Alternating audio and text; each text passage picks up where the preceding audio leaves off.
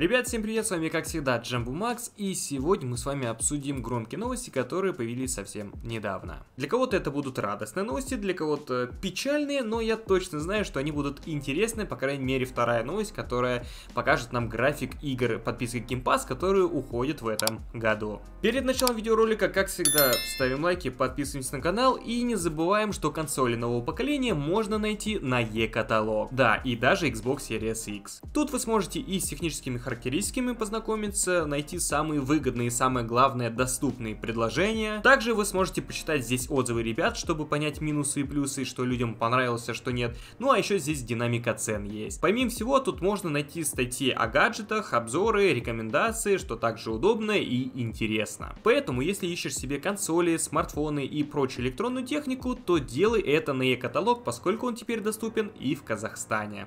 Начнем, пожалуй, с новости о том, что Microsoft прекращает производство всех консолей Xbox One. Многие, конечно, могут переспросить и удивиться, мол, а разве Microsoft не прекращал это делать раньше? Прекращала, но лишь модели Xbox One S L Digital Edition, ну, которая без дисковода, и Xbox One X. Сейчас же новость гласит о том, что никакую модель Xbox One больше не производят. Я не знаю, как для вас, но Xbox One это по сути та консоль, которая останется у меня в сердце навсегда. Вот при помощи этой коробки я по сути начал контент, потому что на начало канала у меня не было нормального ПК, чтобы монтировать, и все свои первые видосы я делал именно здесь.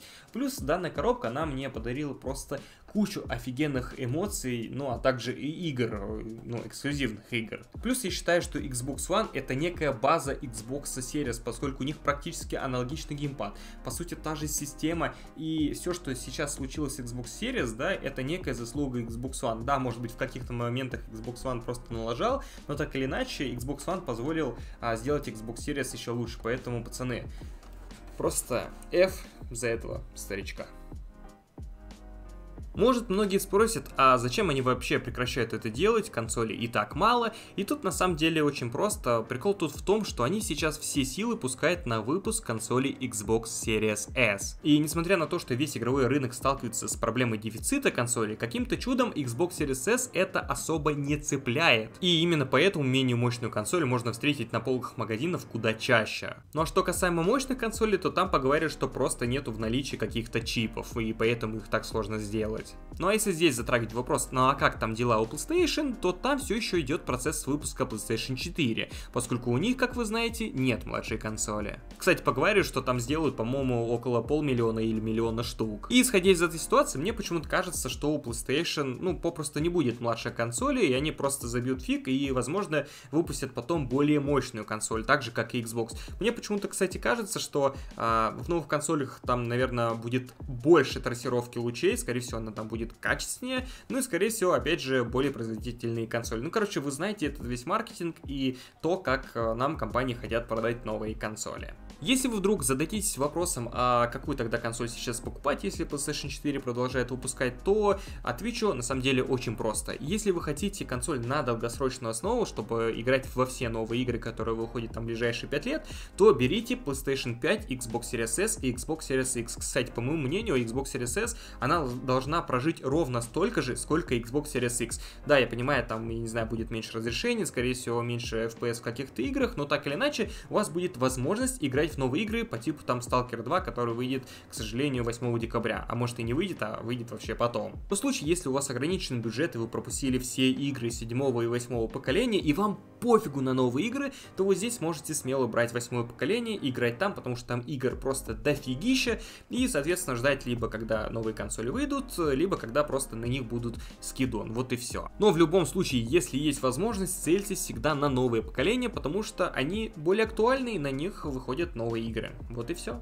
Также хочу добавить самую важную информацию. Прекращение производства консоли Xbox One это не означает прекращение поддержки. Также хочу добавить самую важную информацию. Прекращение производства консоли Xbox One это не означает прекращение поддержки. Просто многие задаются вопросом, а вот сколько будет еще поддерживаться консоль Xbox One? S. Да, данные консоли по сути сейчас не особо актуальны, ибо есть и будут игры, которые не выйдут на эту консоль. Но благодаря всей этой теме с дефицитом, плюс с не такой разной системой, можно с уверенностью сказать, что часть мультиплатформы все равно будет выходить на старое поколение, и аргумент тут довольно-таки прост. Заключается он в количестве пользователей. Да, сейчас разрабам, как парадоксально бы это ни звучало, при новом поколении все равно очень выгодно выпускать игры и для старого, поскольку количество пользователей и, соответственно, потенциальных потребителей контента, там очень большая цифра и терять ее никому не хочется. Единственное, во всей этой теме актуальности консоли я столкнулся сейчас с двумя проблемами. Первое, старое поколение, а именно консоли Xbox One, очень жутко стали тупить.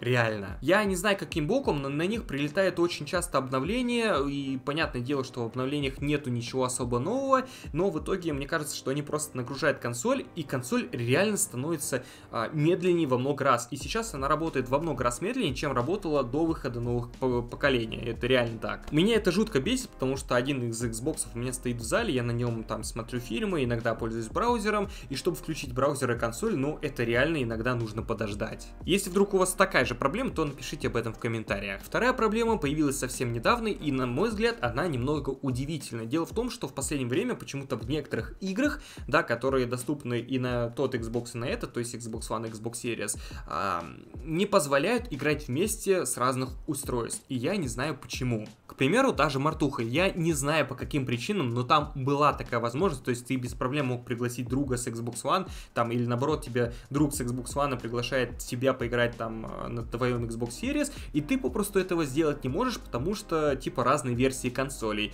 Дело в том, что мы до этого играли, сейчас это сделать тупо невозможно. Плюс, насколько я знаю, разработчики Dying Light 2 объявили, что на начальных этапах игры, когда она выйдет, к сожалению, вот этой, как бы, кроссплатформенной, а именно кросс поколенческого мультиплеера оно не будет. То есть обладатели Xbox Series, они смогут сыграть вместе с обладателями Xbox One. И это только в начале, и типа якобы потом разработчики наколдуют и все это восстановят. Почему так делаются, непонятно. Но у меня одна лишь теория, скорее всего, делают так, чтобы обладатели Xbox One, именно те, кто сидят на восьмом поколении, уже начинали думать о девятом. Ну, не иначе никак. Вторая новость этого видео более интересная, и там нам якобы слили графики игр, которые покинут подписку Xbox Game Pass в этом году. Если что, этот список можно найти у нас в телеграм-канале, поэтому обязательно подписывайтесь на него, поскольку самые жаркие и там самые актуальные новости выходят сначала именно там. Исходя из данного списка, лично я выделил для себя несколько игр, которые мне хотелось бы либо наиграться, либо попросту пройти. Scarlet Nexus, очень хочу пройти эту игрушку, пожалуй, вместе с ней я бы прошел игру про крыс. Кстати, обратите внимание, что она как раз таки уходит 1 февраля, поэтому играйте.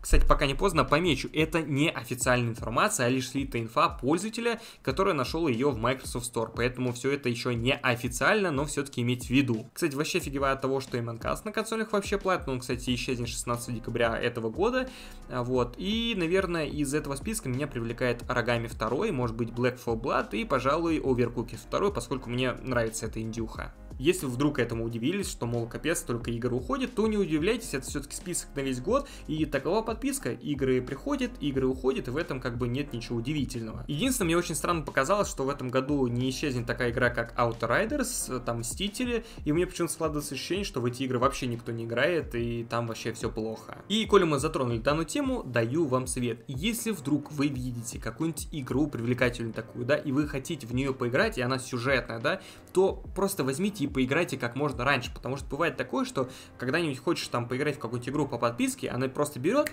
и уходит. Поэтому всегда, всегда просто увидели игру, пройдите, потому что, ну, в следующий раз может быть просто поздно. Если что, игры, которые никогда не пропадают с подписки, это эксклюзивы Microsoft, то есть там Forza, Geary и тому подобное. Но бывает и исключения, потому что если вспомнить ситуацию с Forza Motorsport 7, который все-таки пропал из подписки вообще со стора, то можно сделать вывод, что по каким-то там причинам и с Microsoft э, и эксклюзивами может быть что-то такое, но это все-таки редкость, потому что там что-то с правами у них не срослось, случилось, и теперь, к сожалению, по подписке Forza Motorsport 7 не поиграть и даже не купить. Поэтому еще раз говорю, если вдруг что-то хотите, делайте это сейчас, потому что все-таки живем один раз, и иногда попросту не бывает далее возможностей. На этом, в принципе, все. Если вдруг вам понравился видосик, ставьте лайк, подписывайтесь на канал, обязательно пишите игры, которые вы хотите пройти по подписке, самое главное, проходите их. И большое спасибо за просмотр, друзья. До новых встреч!